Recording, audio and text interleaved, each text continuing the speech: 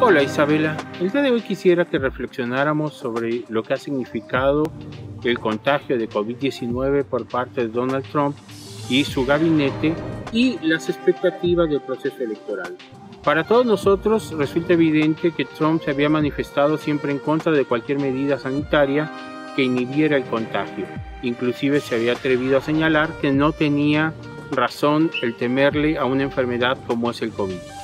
Pues bien, este contagio que a todas luces también resulta un poco extraño, donde sale del hospital en dos, tres días posteriores a ser canalizado, genera una expectativa respecto a si realmente fue un contagio o esto es una simulación.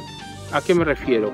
Nadie puede salir tan rápido de un proceso como es un contagio de COVID-19 y además hacer alarde de que ya no quiere usar el tapabocas y quitárselo frente a otros integrantes de su grupo de seguridad.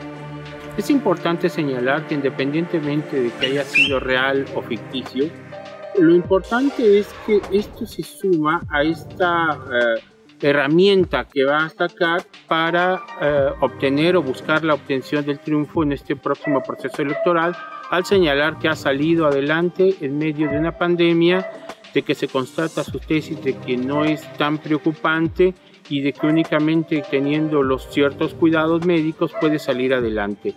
Es importante señalar que esta posición puede darle realmente un triunfo ante un Joe Biden que no tiene mayor fuerza, que no puede hilar una serie de ideas que finalmente demostrarían que eh, el futuro en el proceso electoral va a ser el triunfo de Donald Trump, independientemente de lo que uno podría esperar para beneficio de las mayorías o de los migrantes. Sobre esto reflexionemos.